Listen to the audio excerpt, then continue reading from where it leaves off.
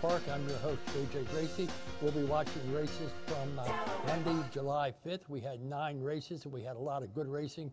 Our turf course was good and our main track was fast. The weather was in the 80s and we had a light breeze. And let's get right to the first half of the early daily double, which will be contested at 5 eighths a mile for maiden filly two year olds. We had six. Here's the six two year old fillies. Here's Josh. Away and running. Good speed from Still My Babe, who breaks right on cue. It is what it is, was tapped for some early speed. And Beautiful Gorgeous is right there in the main body, too. I Love Maria came away in fourth with Maestria having one beaten. And Boss Lady Kim is fanned wide as they are grouped with only two lanes covered in the front and the back. And that was short lived. And here comes It Is What It Is, trying to squeeze on through but couldn't get by. Still My Babe continues to lead. But Boss Lady Kim starts an ominous move on the outside. And Beautiful Gorgeous is in between rivals. On the white outside, Maestria is starting to get going. I Love Maria second last. It is what it is was blocked for a run as that quarter pole passes for Boss Lady Kim. And the inside of Still My Babe. Three wide. Maestria is coming with a hopeful bid as they come inside the 3 16ths. And Boss Lady Kim trying to shrug off the challenge of Maestria, who's charging with plenty of pace on the far outside. Still My Babe is back to third, and there goes Maestria on debut, trying to get past a stubborn Boss Lady Kim Who kicks again. Boss Lady Kim has won it by a neck. A gritty effort by Boss Lady Kim, shipping in from Monmouth Park for Greg Sacco. Give him his first and give Boss Lady Kim a good effort, 460, 280, 210. Maestria was second, 320, 220 and Still My Babe was third, 280. I Love Maria was fourth. Your exacta was worth 1560. Your try was worth $47, and your super was worth $100.60. Let's go to the second half of the early daily double, which will be contested at five and a half furlongs, claiming five, fillies and mares. Take out the two. We had six runners. Here's the second half of the early daily double on Monday. Air in the gate. Away and running. Blue Sky Venezuela left the stalls well, but Susie Kin beats everybody out of the blocks, and a Toast to K is right there too. So those are the three across the track. Ruby Punch is alongside Bees and Bees in a compact group, and Chit Chat Girl patiently ridden at the back of the pack. They have four furlongs to go, and Susie Kin protects the rail. Blue Sky Venezuela is dipped out very wide. A Toast to K is right there in the thick of it too. And right behind the speed is Bees and Bees. Ruby Punch has one beaten and Chit Chat Girl is trying to latch on to the others. Around the turn at the 5 16ths and the favorites ready to roll. Blue Sky Venezuela tries to take the lead away from Susie Kin as Field turns to the quarter pole. Blue Sky Venezuela is in hand and looking good at the 3 16ths. Susie Kin tries to dig deep and find more. A Toast to K is right there in a position to challenge as they approach the furlong grounds. Blue Sky Venezuela still has not been asked. Getting closer is a toast to K, and Susie Kin's back into third inside the 70 yard marker, and it's all Blue Sky Venezuela as the 4 to 5 favorite did is what she wanted to do. The solid favorite today didn't let down. Blue Sky Venezuela gets the job done. Michael Gorham gets his fourth. Charlie Marquez gets his eighth. And Blue Sky Venezuela returned 380, 240, 220. A toast to K, 260, 240. Suskin returned 540. Chit Chat Girl was fourth. Your $2 exact is 7 to 6, 980. Your try 7, 6 and 1, 7660. Your daily double 6 and 7, 1520. And your super was worth $98.20. And let's go to the third race, which will be contested at 5 eighths a mile. This is maiden special weight for Colts and Geldings. We had a field to seven. This was a good one. Here's a break. Away and running. Great speed from Hootie Hoo and Captain Candy. They break 1 2. And up the inside is 1484. King of Hollywood came away in fourth position. Bad to the Bones is caught out deep by Handsome Man's in front of that one. And Addicted to Chaos is last of all. Three and a half furlongs to go for Captain Candy, who sets the tone. But Hootie Hoo is right there breathing down that rival's neck in second. 1484 has the run of the race in the all blue if good enough. Bad to the Bone starts to kick it into gear. So does my handsome man. Around the turn, and the pace just changed with 1484 taking the lead at 50 to 1. Hootie Hoo's in second position. Captain Candy's it down against the fence, and on the white outside is bad to the bones. But 1484 is giving this field plenty to think about. Hootie Hoo trying to salvage second. Bad to the bones rallies, and my handsome man tries to close in, but lighting up the board like a Christmas tree on the 25th of December. 1484 pays a hundred dollar bill to win. This one went in a common gallop first time out, going off at 50 to 1. Give Balthazar Galthazar his third to return $106.60, 32.40 in the middle, 11.40 on the end. Addicted to Chaos, $12.680. The seven was third, Bad to the Bones, and We We De Who was fourth. The exact was worth $733.20. Your trifecta was worth $2,390.40. Your daily double was worth 145.80. Your pick three was worth $218.80. And 80 cents, and your super was worth a nice $3,937.30. That'll bring us over to the fourth race, and we're going to go a distance of five and a half furlongs. Fillies and Mare, 62.50. Take out the two. Here's Josh. Here's your fifth or fourth. away and running. Good break for them all. Kid Mercury was the first one to break the line. Sandy Lane Kitten is right there too, so the favorites are 1 2 in the early go. Shendham shares third with Lucky Ramsey, who takes that position away, and Troubled Coffee came away in fifth.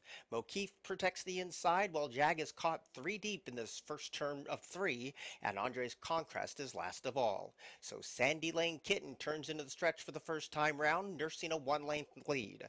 In second position is Kid Mercury, and off the inside, trying to get closer is Trouble Coffee, along with Lucky Ramsey. A rail position for Shenham, who's in front of three rivals, which includes Mokeef, who's ground saving, Jag, who's second last, and Andres Conquest is last of all.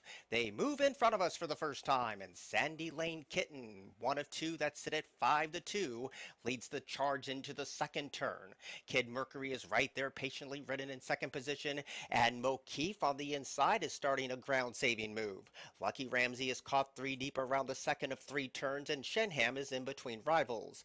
Jag is near the backfield along with Troubled Coffee, and nothing yet from Andres Conquest. So they get ready to leave the second turn behind, and Sandy Lane Kitten continues to control the clock and shows the way three parts of a length.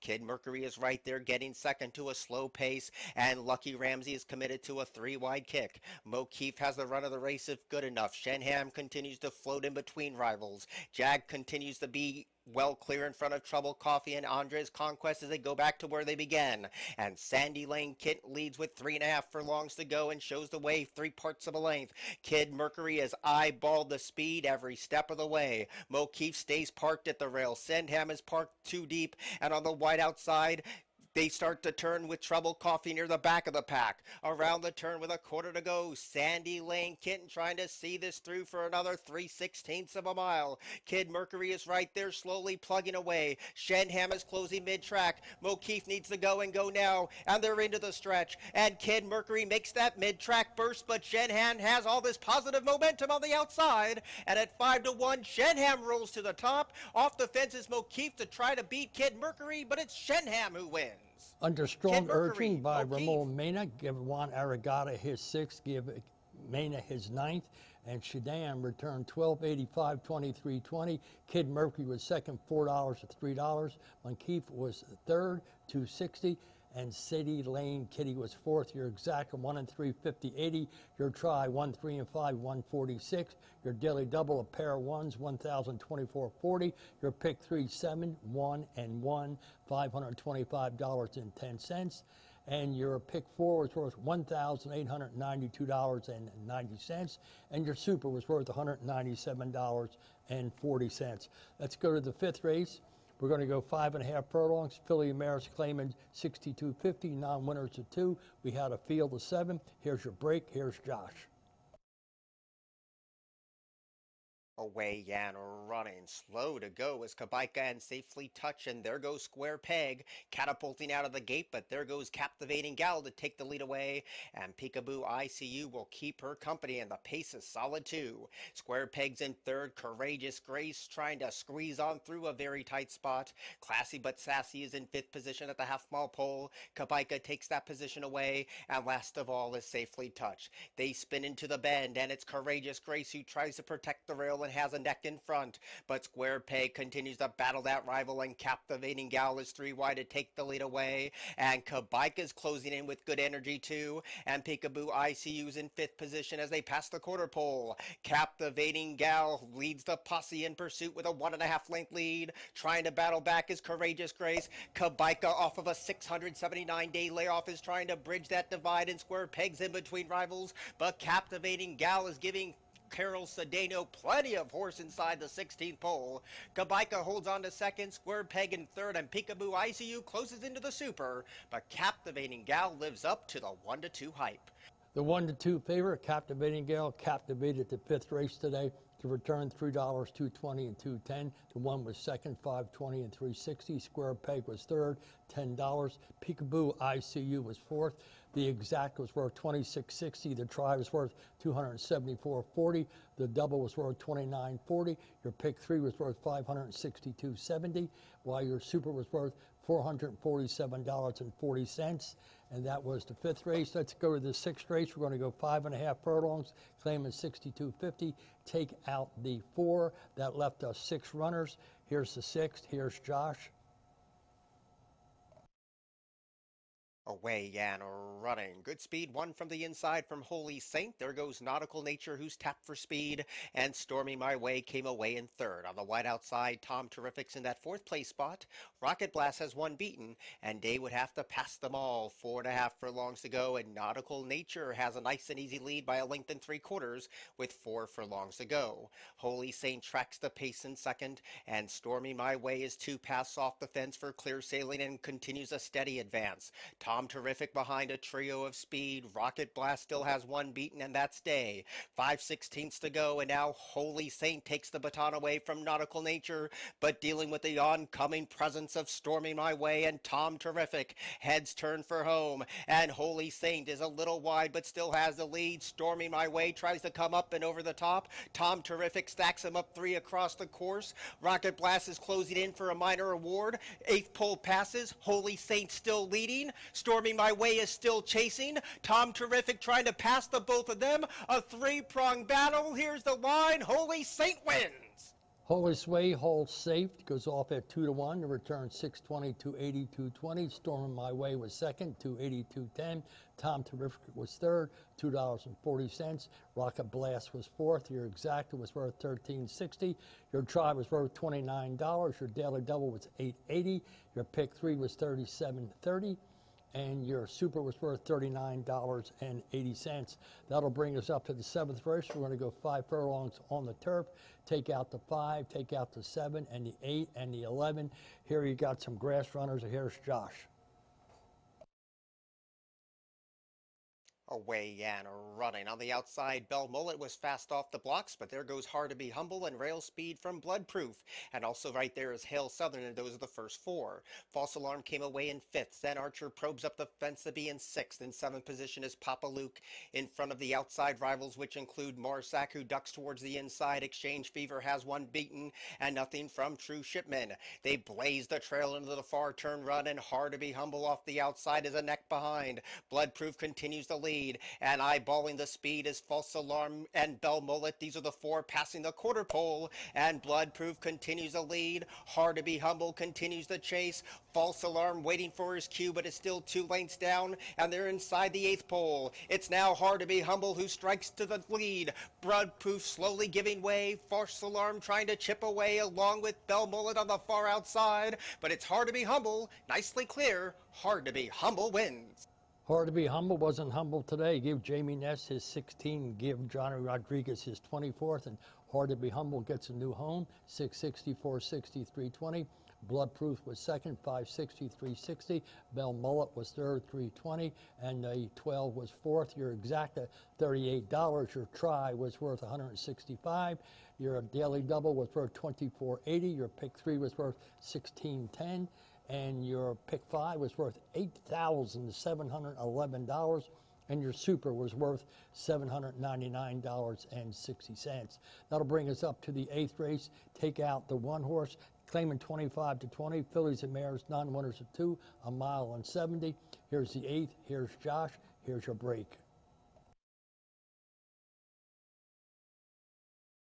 Away and running. Good speed from Marine Loves Frank. On your mother's right there, and Isabella sent up the rail to take the early lead. Sprite's ladies behind a trio of speed. Fred Sheila's in front of one, and Hello Rosie Say has to come with a big close as they go around the first turn. So Isabella had to work for it, but got there and leads a length and a quarter. Marine Loves Frank patiently ridden in that second place position at the six and a half, and Honor Your Mother's in third, only two and a half lengths down from the speed. Sprite's lady protects that inside position. Fred Sheila's one off the fence, and Hello Rosie Say is last of all. Five and a half furlongs to go, and Isabella is the speed, and she leads the way just by a measured length. Marine Loves Frank tracks her every single move in second, and a gap of two back to Honor Your Mother, a patiently ridden third. Sprite's Lady has saved ground throughout. Fred Sheila still in front of one, and Hello Rosie Say is last of all. There's been no change at the half mile pole, and Isabella continues to dictate her own terms, but Marine Loves Frank now gets a bit closer to the speed. A gap of three and a half to honor your mother, Fred Sheila, Sprite's Lady, and last of all is Hello Rosie Say, and there goes Marine Loves Frank, who could wait no more. Isabella's trying to dig deep and find more. Honor your mother's creeping closer to Marine Loves Frank, and these are the two inside the quarter pole. Marine Loves Frank hugs that corner with a one and a half length lead. Honor your mother's floated deep, but continues to slowly chip away at the 3 16ths Marine Loves Frank has a two and a half length lead. On Your Mother's is going to salvage second, and trying to salvage third is Isabella, but no doubt about who's best here. Six to five on the three. Marine Loves Frank, who pads the winning margin with Michael Sanchez. Marine Loves Frank was much the best. The public pick jogs to the wire for Jane Cibelli. Give her her seventh. Give Michael Sanchez his 11th and give Marine Loves Frank 460, 280, 210. Honor Your Mother was second, 940, 360. Isabella was third, return 220. Hello Rosie Say was fourth. Your exacta was worth 39.20. Your try was worth 78.80. Your daily double was worth $20. Your pick three was worth 29.80 and your pick four was worth 44.60 and your super was worth 99.70 that'll bring us up to the fifth race maidens going six furlongs, take out the one. We had six maidens left. Here's the finale. Here's the break. Here's your track announcer. Away and running. Good speed in the center for Eagle Keeper. There goes Bobman up the inside, and Restless Rocker is right there too. And Field Officer in the all black makes it four across the course. Demir is about five lengths off of the quartet of speed and nothing yet from natural appeal. So as the dust settles, Eagle Keeper now makes play and shows the way a length and three quarters. Bobman sneaks up the fence to grab second away from field officer, and Restless Rockers committed to a three wide kick.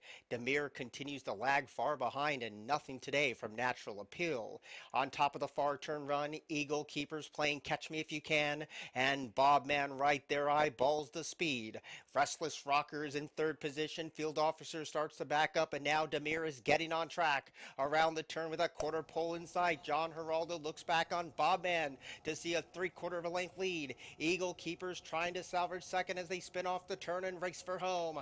Bobman is kicked away to a one and a half length lead. Eagle Keeper trying to hold second. Demir is closing with good energy inside the furlong grounds, but Bobman still nicely clear with a 16th to go. Eagle Keeper holding on to second for the moment. And here is a two to one winner, and that two to one winner is Bobman. Bobman in hand and in command wins the finale to return $683 and 260. Eagle Keeper was second, 360, 260. Demir was third, $3, and Field Officer was fourth. Your exact was worth 2380. Your try was worth 5940. Your daily double was 440. Your consolation double was 1620. And your uh, pick three was worth 930. Consolation was 3540. Your super was worth $57. That was the ninth race. And let's look at the leading trainers here. And Amy, I'm sorry, leading jockeys. Jamie Rodriguez picked up one today. His is 24th. And on the other side, we're going to see the leading trainers here, which will be our man Jamie Ness gets one. He gets 16. And Jane Cibelli picks one up. That's seven. That's about the only change that we had there. But today's racing at uh, Delaware Park was outstanding. Our handle was outstanding. $2,596,930. Certainly uh, shows that on a holiday, folks like to come out to Delaware Park. We appreciate you coming out here. We'll be back again here on Wednesday for nine more races. Come out and say hello. Good night and good racing, and always find yourself in the winner's circle.